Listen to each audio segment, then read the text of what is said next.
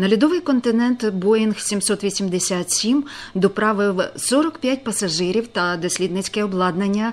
Така логістична акція відбулась вперше. Лайнер Боїнг 787 здатний перевозити до 300 пасажирів.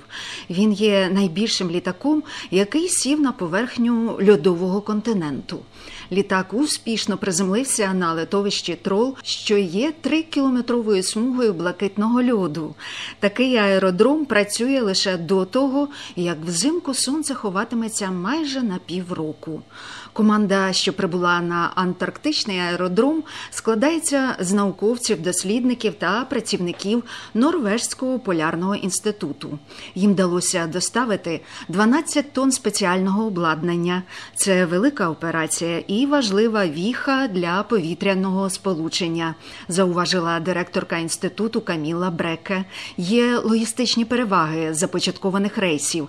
Великі літаки можуть зменшити кількість необхідних перельотів. Це має позитивно позначитися на екології Антарктиди.